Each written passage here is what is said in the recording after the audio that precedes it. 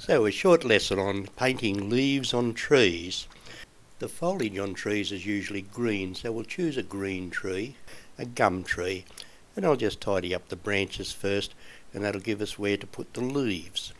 I start with a warm yellow, mix in a green or a blue to change the colour of the yellow, but don't mix it completely and have your tones from dark to light.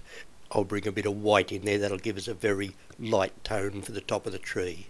Then I'll load my round hog bristle brush with dark on one side and light on the other side and take it to the tree and we dab it straight on to give us the dab dab brush stroke and we'll paint mushroom shapes around the top of the tree or umbrella shapes.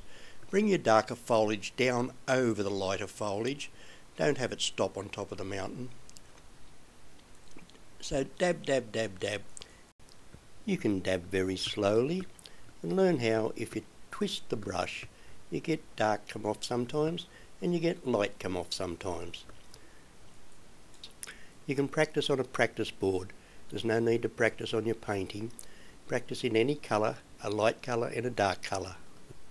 Keep your brush well loaded and don't get lazy with your brush strokes.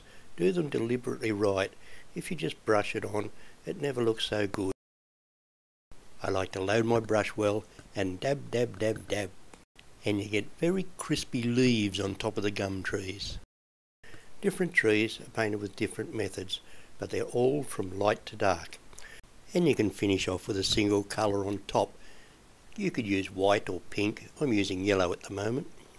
Notice the trees in the background are quite dull, so we go over them with a very vibrant colour, and this will give you a lot of contrast and add depth to our painting. This foliage hasn't any branches. We can put them in later with a fine brush loaded with dark and light.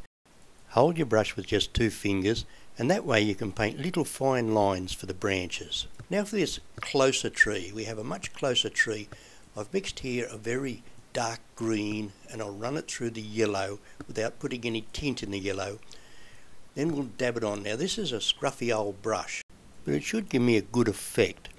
Dab it on bigger than the background trees because this tree is much closer. Make much bigger umbrella shapes and then drag it down a little bit and that'll give you the drooping leaf look.